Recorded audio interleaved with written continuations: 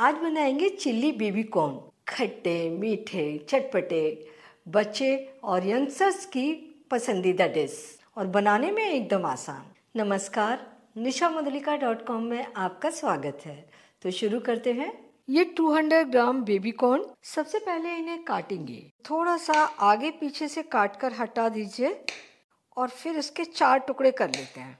तो सारे baby corn को इसी तरीके से काट लीजिए। और अगर कोई ज़्यादा छोटा हो तो दो टुकड़े बना लीजिए। ये सारे कट गए, अब इन्हें बॉईल करेंगे। तो आइए गैस के पास। यहाँ हमने इतना पानी लेकर गैस पर बॉईल करने रख दिया, जिसमें कि बेबी कॉर्न आसानी से डूब जाए। पानी में उबाल आ रहा है। इसमें डाल दीजिए तीन चौथाई छोटी चम्मच नमक और ये बेबी कॉर्न और अब इन्हें छह सात मिनट तक उबलने दीजिए। थोड़ी थोड़ी देर में आप इसे चलाएँ ज़रूर, ताकि सारे बेबी कॉर्न एक जैसे उबल सके। ये अच्छे तरीके से उबल गए हैं। अब इन्हें छान लेते हैं, फ्लेम बंद। ये नीचे जो पानी आया है, वो भी काफ़ी न्यूट्रिशियस है। आप किसी सूप वगैरह में इसे यूज़ कर सकते हैं। अब इन्हें निकाल लीजिए एक बड़े बोल में। ये एक चौथाई कप कॉर्नफ्लोर और एक चौथाई कप मैदा। बढ़िया सी कोटिंग आएगी दोनों की इनके ऊपर। और बेबी कॉर्न के अंदर तो हमने नमक डाला ही हुआ है। आधा चम्मच नमक और डाल दीजिए मैदा और कॉर्नफ्लोर के लिए। अब अच्छे तरीके से कोट करते हैं। लेकिन सूखा सूखा दिख रहा है तो हम इस पर छिड़केंगे थोड़ा सा पानी। ये दो चम्मच पानी डाल लिया और अब इसे मिलाते हैं। बस इतना ही पानी डालिए कि मैदा और कॉर्नफ्लोर, बेबी कॉर्न के ऊपर अच्छे तरीके से चिपक जाए। थोड़ा सा और बेबी कॉर्न के पीसेस के ऊपर कोटिंग बढ़िया सी हो गई है। अब इसे तलते हैं। तेल अच्छा गरम है और फ्लेम मीडियम कर लीजिए। अब एक एक पीस उठाकर आप इसमें डालते जाइए। हाथ से डालना चाहे हाथ से डाल सकते हैं। आधे डाल दिए हमने एक बार में। इतने ही कढ़ाई में आ रहे हैं। बचे हुए दूसरी बार में तल लेंगे। दो तीन मिनट सीखने के बाद इन्हें पलट लीजिए और अच्छे गोल्डन ब्राउन होने तक तल लीजिए। फ्लेम को मीडियम और मीडियम हाई रख लें।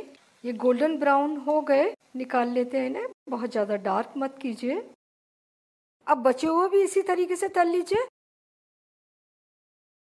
इन्हें तलते समय चलाएँ ज़रूर, तभी ये चारों ओर एक से सीख पाएँगे और फ्लेम को मीडियम हाई रखें, ज़्यादा तेज नहीं। ये एक ही बार में अच्छे कुरकुरे सीख जाते हैं, लेकिन आपको बाद में सर्व करने हैं तो आप इन्हें थोड़ा सा कम सीखे हुए तभी निकाल लीजिए। और जब आपको सर्व करने हैं, तब फटाफट गर्मा गर्म तेल में डालिए क्रिस्प कीजिए सॉस बनाकर लपेटिए और सर्व कर दीजिए। पाँच से छह मिनट में ये बढ़िया क्रिस्पी तलकर तैयार हो गए। फ्लेम बंद बेबी कॉर्न तल गए, और ये देखिए कितने क्रिस्पी बने हैं।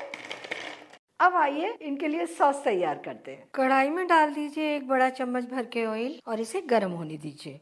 ये एक हरी मिर्च कटी हुई और आधा छोटी चम्मच ग्रेटेड अदरक। इसे आप बारीक काट करके ले सकते हैं या फिर अदरक का पेस्ट भी ले सकते हैं। और ये दो टेबल स्पून हरे धनिए की डंडियाँ। इनसे सॉस में बहुत अच्छा टेस्ट आता है।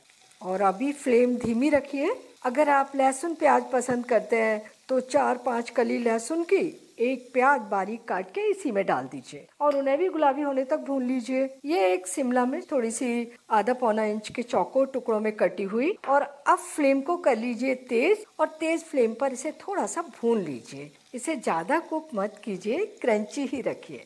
और अब ये जो बेबी कॉर्न का पानी था, उसी में से एक टेबल स्पून पानी डाल देते हैं ताकि ये और कुक ना होती रहे। ये आधा छोटी चम्मच लाल मिर्च पाउडर। आप इसकी जगह एक छोटी चम्मच रेड चिल्ली सॉस भी ले सकते हैं। ये एक चौथाई छोटी चम्मच क्रस्ट काली मिर्च। तीनों तरह की मिर्च डाल दी। आखिर चिल्ली बेबी कॉर्न बन रहा है तो थोड़ी चटपटी बनेगी।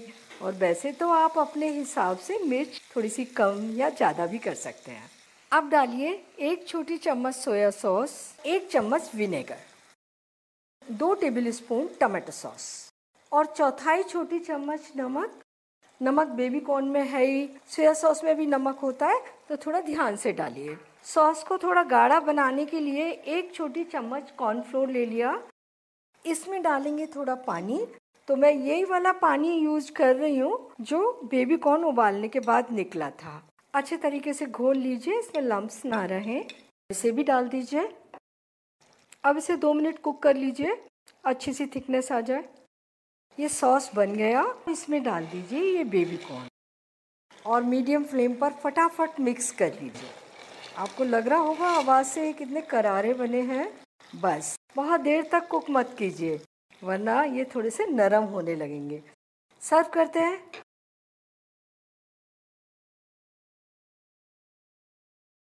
चिल्ली बेबी कॉर्न बन गए, बहुत ज़्यादा टेस्टी बने हैं।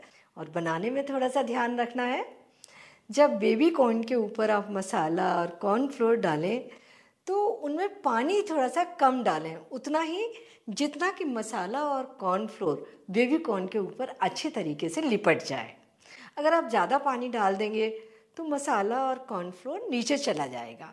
बेबी कॉर्न के ऊपर अच्छे तरीके से कोट नहीं होगा। और तलते समय ध्यान रखिए कि ऑयल अच्छा गर्म हो और फ्लेम भी तेज हो। फटाफट क्रिस्प हो जाए। जले नहीं। और सॉस बनाने के लिए सारे इंग्रेडिएंट्स पहले ही निकाल लीजिए। सॉस बहुत जल्दी बन जाता है। और तले हुए बेबी कॉर्न को सॉस में लपेट दीजिए सर्व कर दीजिए। आप बहुत अच्छे चिल्ली बेबी कॉर्न बनाकर तैयार करेंगे। तो आप इन्हें बनाइए, खाइए और बताइए कैसे लगे।